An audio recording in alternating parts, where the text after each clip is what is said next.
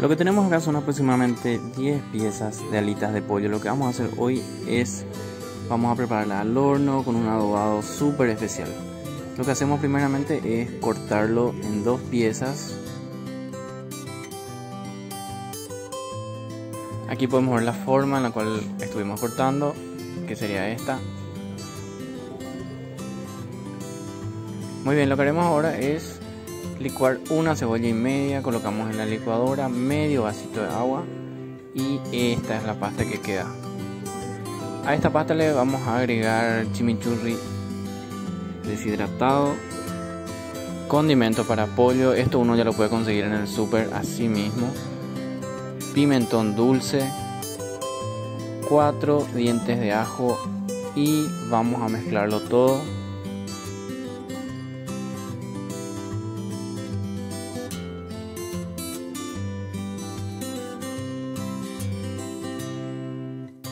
También le vamos a agregar perejil seco.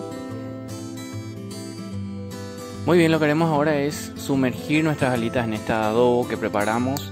Mezclamos bien y es importante dejarlo reposar por al menos media hora para que nuestros ingredientes deshidratados que colocamos se hidraten bien y puedan darle más sabor todavía a nuestras alitas.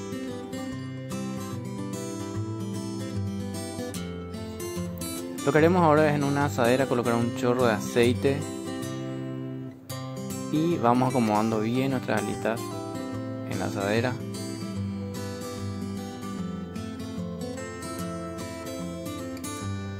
Aquí ya tenemos listo prácticamente. Y esto va al horno a una temperatura aproximadamente de 250 grados por aproximadamente una hora para acompañar nuestras alitas lo que haremos es una deliciosa ensalada de arroz, para lo cual colocamos un litro de agua, una taza y media de arroz, revolvemos bien, colocamos una cucharita de sal. Pasaron exactamente una hora desde que colocamos nuestras alitas y miren cómo están.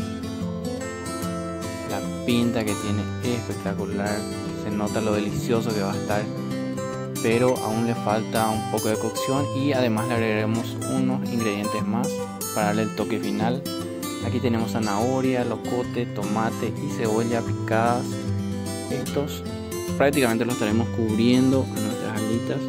También estaremos agregando cuatro papas. Esto lo partimos con cáscara. Esto hace que mantenga más el sabor. Espolvoreamos orégano bien por todas partes. Esto le va a dar un sabor delicioso. Y lo devolvemos al horno por aproximadamente 40 minutos más. Mientras tanto, lo que vamos a hacer nosotros es preparar nuestra ensalada. Tenemos perejil, zanahoria, arveja, tomate, todo picado. Lo mezclamos bien.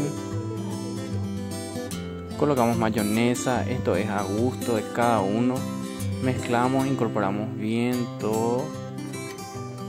Y esto sería todo. Miren lo que es el toque de colores de las especias. Muy bueno, muy lindo y delicioso por sobre todo. Muy bien, llegamos al punto límite de nuestra cocción. Miren lo que es. Retiramos del horno. Espectacular. Esto está quedando súper bien. Y preparamos nuestro plato como siempre.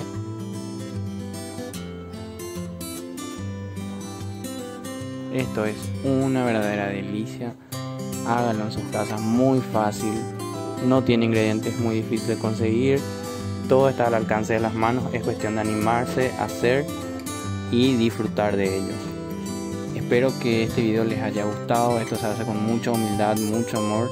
Espero haya sido el agrado de todos ustedes. Si les gustó, le dan un me gusta, comparten, se suscriben al canal en YouTube, así reciben las recetas cada vez que subimos un video. Muchas gracias y hasta el próximo video.